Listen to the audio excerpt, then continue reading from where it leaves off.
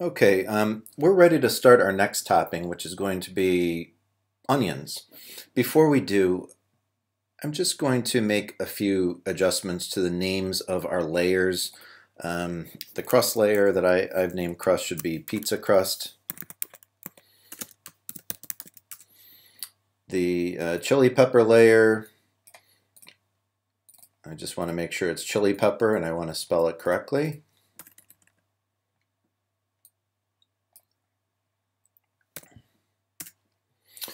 And then it's a good idea to lock the chili pepper layer so that we don't accidentally select it. Let's create a new layer. Let's call this layer onions. And we can work over on the blank part of our artboard. So uh, earlier when I was creating the chili pepper I referred to this as a document, and it, it is a document, but in Illustrator, the active document area is called an artboard, and then the gray area outside of that is called the pasteboard. So we're going to work on the blank part of the artboard to create our first onion, and then we'll just create the onion once, and we'll copy, paste, uh, rotate, resize, in order to uh, fill our pizza with an onion topping. So we're going to create our onion slice. We don't want to make it too large. We want it to we, we want to draw it with our pen tool to be about the same size as it would be placed on our pizza to begin with. So we can zoom in quite a bit and Let's choose the pen tool. So a shortcut to choose the pen tool is just to press the, the P key. Let's draw an onion slice. So I'm clicking and dragging with the mouse. And right now my fill and stroke are both at none, so I have kind of an invisible object here. So let me choose the stroke swatch and choose black for the color just so that we can see it. All right, so I may not be completely happy with this shape that I've created. So let me go to the direct selection tool zoom in so I can see what I'm doing and I have these anchor points that I can click and drag around and I'm just going to make a few adjustments here. I can also click and rotate these handles that are attached to my anchor points if I want to change the direction of the path.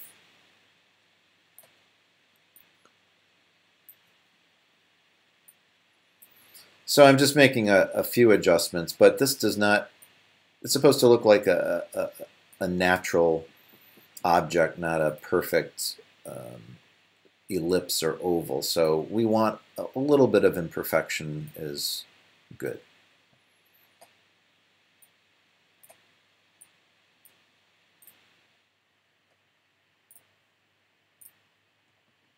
Okay, so now we've created our outer edge of our onion. And the onion is a ring shape, so it's going to be hollow in the middle. We still need an inner edge of our ring.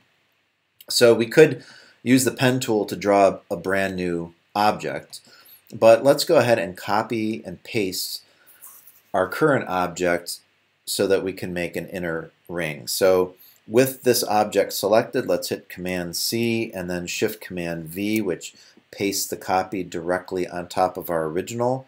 Hold Shift Option and drag to resize and make it a bit smaller. And now let's, um, what I'm going to do just for illustration purposes, and this is not something that you need to do, is I'm going to fill these with different colors. Because I want to show you that we have two objects, both have a solid fill on them, and both have a black stroke. The inner object, which is green, we created second because it's a copy of the original, which is red. So the object that we created second is sitting on top of the object that we created first. And it's blocking out the lower object. So we can think of the inner or green object that we created later as sitting on top of or layered on top of our red object that we created earlier. And if I dr drag that out of the way, you can see I've got two solid objects there. The green one is on top of, or we can imagine it being on top of the, the red. We need to subtract the green from the red so that we can create a ring shape and have this part that's currently filled with green, it'll just be transparent. There won't be any, um, the object will not occupy this part of the artboard. So we have a handy tool to do that. Let's go to Window and choose Pathfinder. And we have a few options with Pathfinder. Um, in order to use Pathfinder, we need to select both the objects that we want to affect. And so what we're actually going to do is we're going to use Pathfinder, we're going to use this minus front shape mode to subtract this green object that's sitting on top from the red object sitting below it.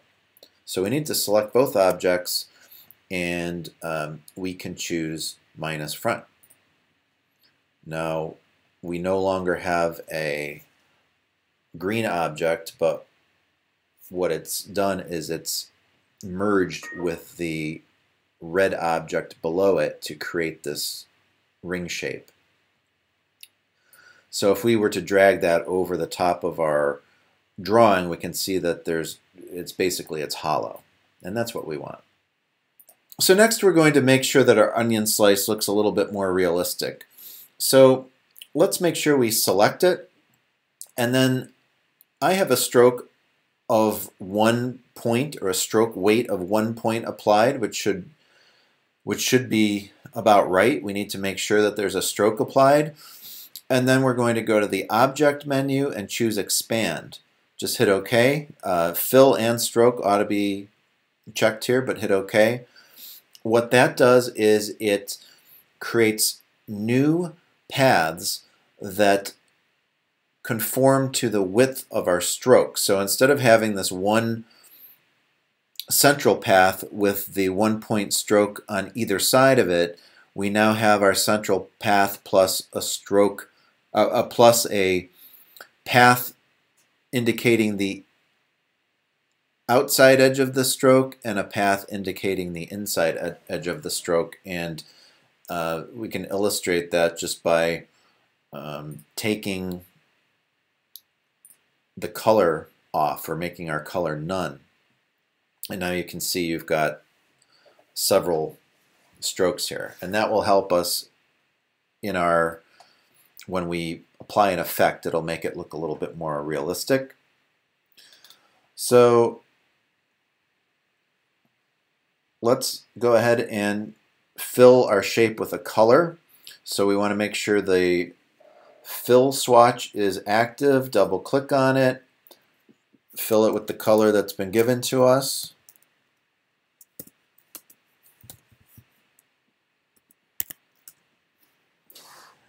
Then we're going to go to the Effect menu, choose Stylize, Inner Glow, and then we're going to set the value. So we want multiply for the blend mode, opacity 50%, which I already have, and let's try a blur of 1. Now let's see what happens if we, yeah, let's just do a blur of 1. Let's try preview. Okay, there we go. So you can see that we have some different effects here. It looks like the um, outer edge of our onion slice is getting a little bit darker and blending into a lighter center. So let's see if we put one on there. It's not too discernible. So how about let's do three or two. We, we want kind of a subtle effect. Let's hit OK. We can always change this later if we needed to. Now we need to make kind of the lighter fleshy part of our onion. We're going to copy and paste. So Command C, Command Shift V, make our copy directly above our original. Shift Option to drag from the center point to make it a bit smaller. Let's fill this with white. And let's apply another inner glow to this one. So we'll go to Effect, Stylize, Inner Glow, and let's do Preview.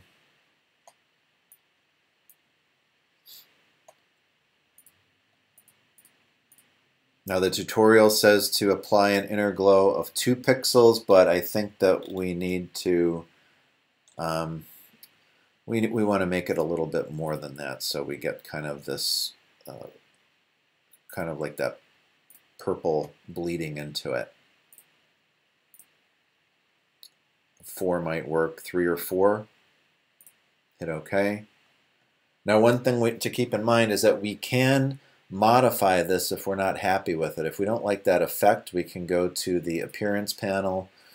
We can choose our inner glow and we can go ahead and make our changes. So we're not stuck with the exact settings that we um, that we chose to begin with. We can make those changes later. Just make sure you have the preview box checked so that you can see the effect that your changes are making. All right, so we now have an onion slice. Let's give it a little bit of a dimension by applying a drop shadow. So we need to select both parts of it. We've got the purple ring that's forming the outer skin of our onion, and we've got this kind of whitish ring that's forming the flesh. We can click and drag over both objects in order to select them both at the same time. Let's right click and choose group. We're going to go to effect, stylize, drop shadow. Um, these are the settings that we want.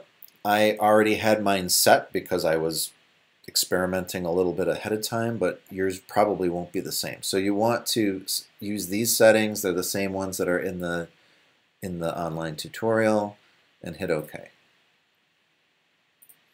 And let's zoom out a bit to see the result. And that looks pretty good. So the next thing we need to do is start placing our onion slice. So we're just going to click and drag it onto our pizza.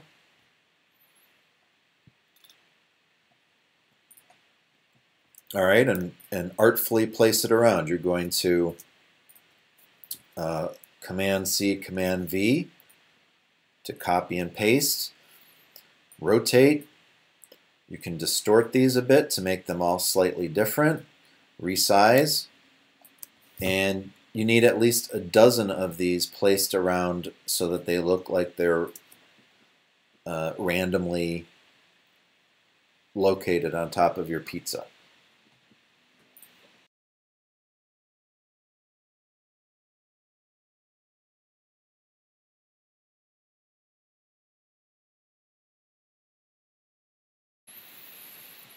All right, um, I'd say about a, a, dozen are a bare minimum. I've got more than that here. So you want it to look pretty appetizing, like, like there's not too many blank spots. Let's move on to step 17, which is creating an olive. So our next topping is olives. Let's go to our onions layer, lock that layer, create a new layer. Above that, call that layer olives. And on our olives layer, with that one active, we're going to go to the ellipse tool. And we're going to create an ellipse shape. And again, we can zoom in a bit. We can make our topping about the size that we wanted on our final illustration. Let's rotate it a little bit. Let's choose the gradient tool. Click on our gradient slider to bring out these swatches. First swatch, or I should say the the uh, right hand swatch, let's choose, uh, double click that, choose WebSafe RGB, because these are the types of colors that are being specified for us. Type in the color code.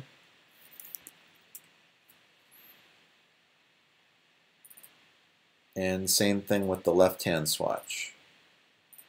I'm going to type in the color code there.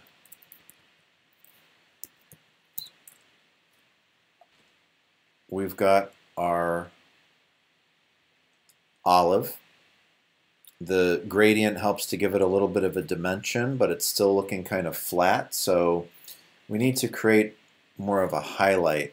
Oh, uh, one reason it's looking a little bit flat is because we want our type of gradient to be radial, not linear. So it's a bit rounder.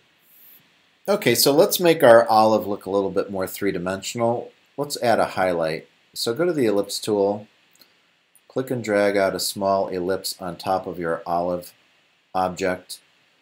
We can fill that with white and then go to transparency and reduce the transparency or opacity to 20%. Um, let's rotate this a bit to match the angle of our larger shape and we've got a highlight. So let's select both objects group so that we can move these objects together. And but before we do that, let's add a um, let's add a drop shadow to to give it some more dimension. So go to Effect, Stylize, Drop Shadow, and we'll use the parameters given to us in the tutorial.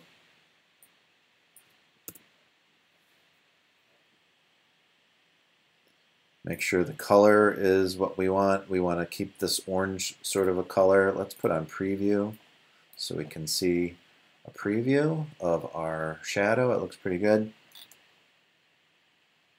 Hit OK. Zoom out a little bit, get a sense of our object here. All right, so now we need to do the same thing with the olive. We're going to copy, paste, resize, rotate, position so that it looks like they've been randomly spread across the top part of our pizza. We need at least a dozen of these to make it look full and appetizing.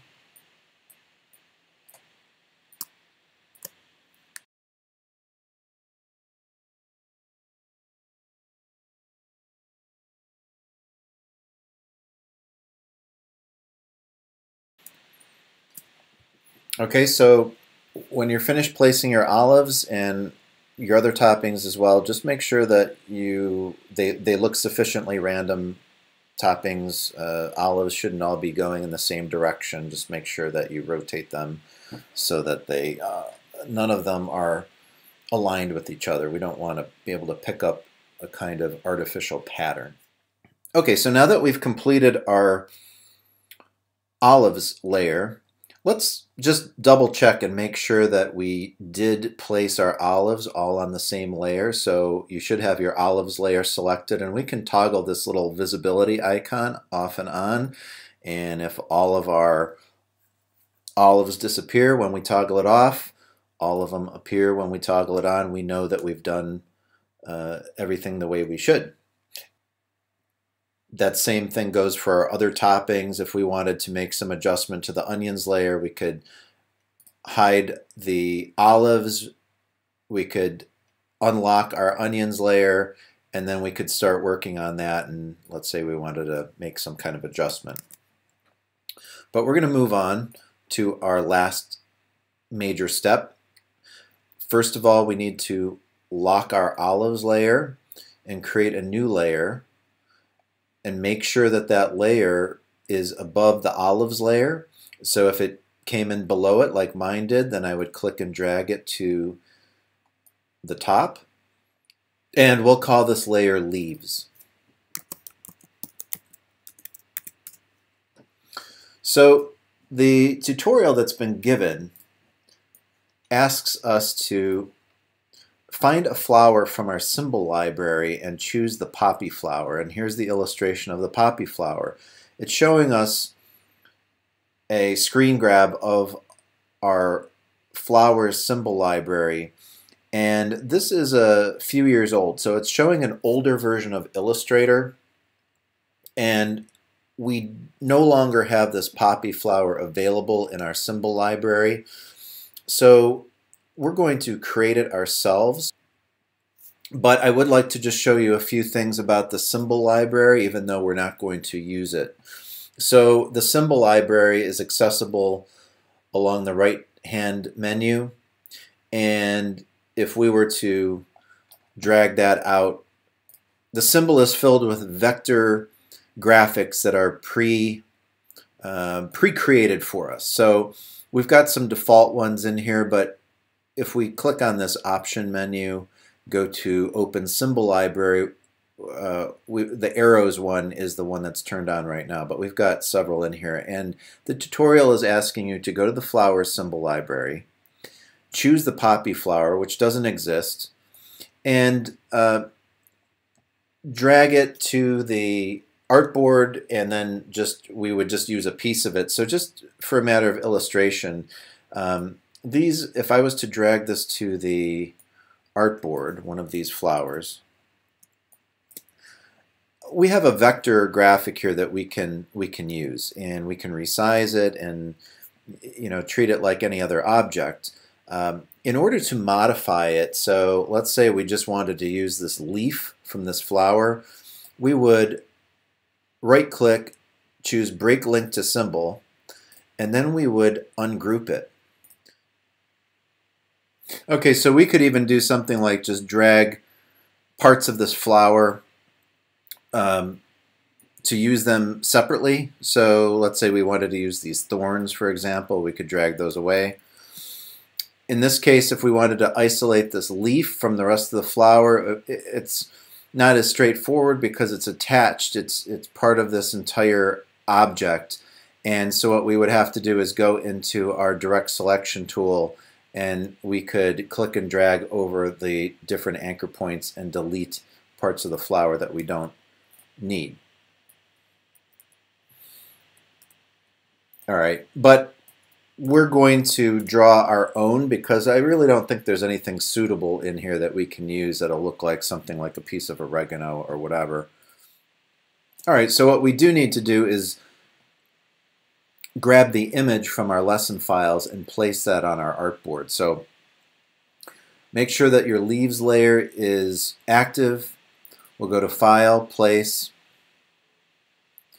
choose this pizza leaf JPEG, click to place. We can make this a bit smaller. We're just placing it on our artboard like we did for the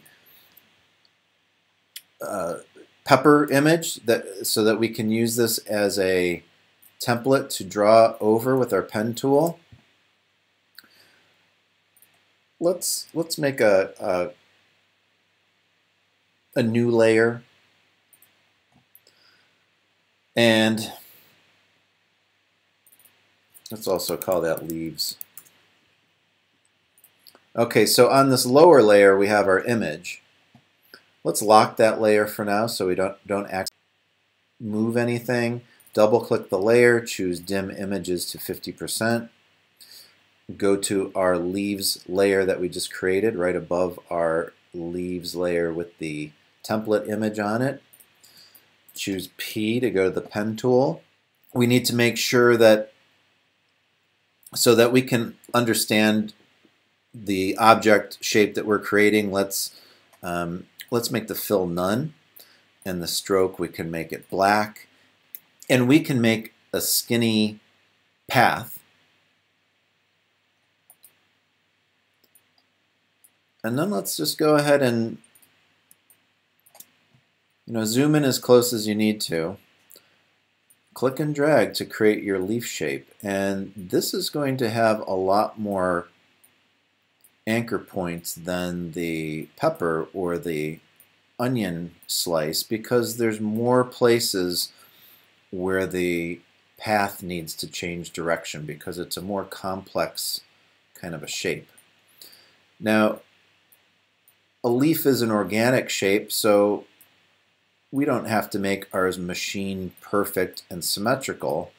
In fact, it would look kind of strange if we did that. So we just need to click and drag to make sure that we have curved paths rather than um, angular pointed areas where the paths where the path changes direction. So the path has the potential to change directions every time we set an anchor point.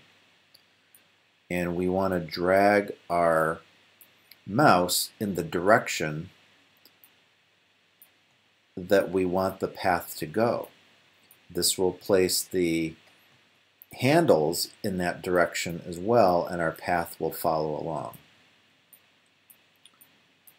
So click and drag, click and drag. Only make as many anchor points as you need. So every time you change direction, or you would like your path to change direction, place an anchor point and drag in the direction that you want your path to go.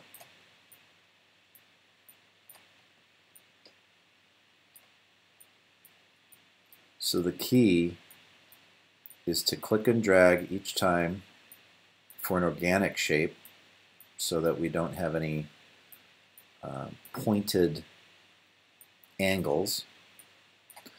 And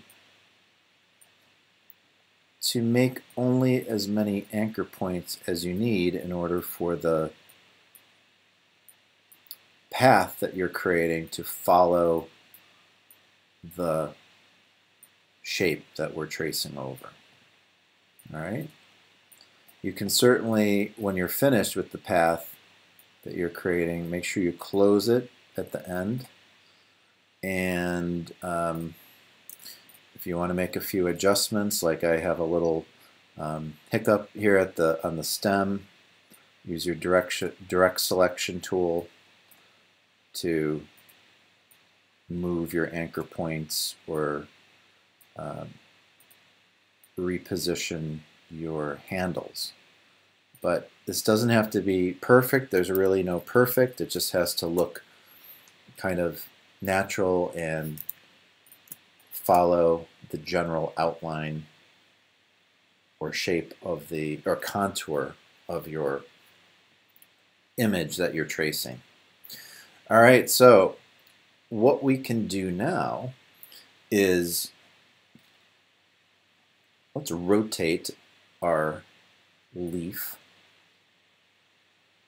object that we just created so that it's kind of sitting at an angle like that. We no longer need our image that we traced, so we can unlock that layer, select it, and delete it. Make sure that we have our new leaves layer selected, the one that has our object on it. Now might be a good time to save, so Command S to save your work. Should save more often than, uh, than I've been showing you here. And let's apply a color gradient. So with your leaf object selected, double click your gradient tool, click on the gradient slider, in the right-hand swatch, let's, again, we're going to use our web safe colors. Let's go uh, type in the code that we've been given.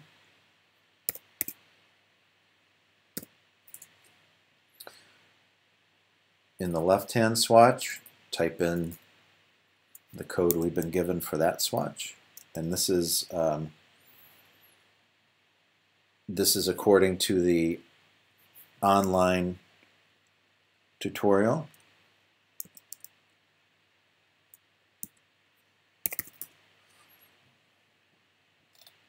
All right, and let's change the angle of our um, gradient.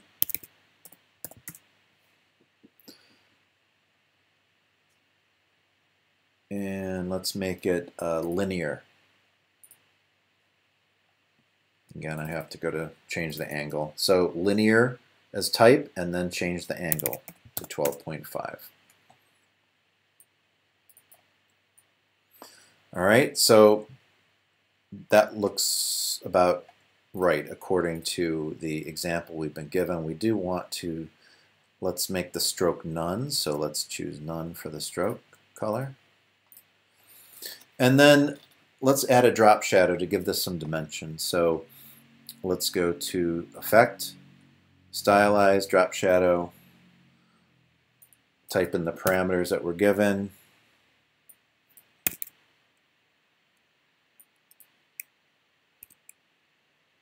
Make sure the color is what we want. Again, according to the tutorial. Can check our preview button so we can see the effect that we're having. So our effect is a raster effect made out of pixels. Hit OK. And we can start placing this topping now.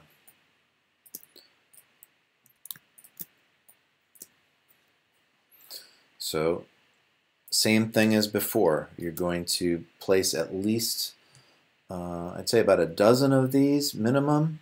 If you need to resize, go ahead. We don't want these to be too overwhelming in size.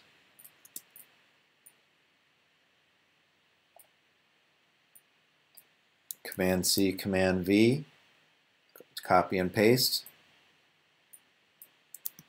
Make sure just as the other toppings were, that this is sufficiently random looking. So change the direction, rotate them, change the size on these so that they're not all exactly the same.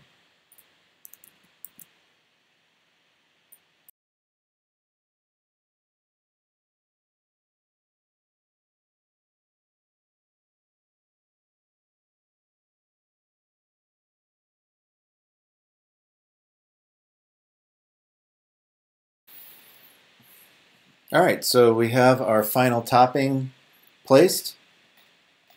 We're all done. Maybe you want to zoom out to take a look at it. We've got a little garnish here on the cutting board just to give it some interest. And let's make sure we Command S to save. So we want to save our original AI file with the layers preserved. And then we also want to create a JPEG. So we can imagine that we might be placing this onto a web page or something like that. So we need a, we need a raster version of our vector graphic. That's what the JPEG will do. So let's go to File, Export, Save for Web Legacy. Make sure we have JPEG maximum. We can leave the resolution alone. Choose Save. And then let's make sure that we have uh, navigate to our assignment folder, the same one that your original AI file is placed in, and just hit save. It, if you notice that there's a checkbox that says hide extension, if we uncheck this, we see that we have an extension called .jpeg, so that's not something that you would type in. If you were to type that in, up here with the hide extension option hidden, well then it will automatically uncheck for you. But um, you want uh, .jpeg is the file format and just hit save.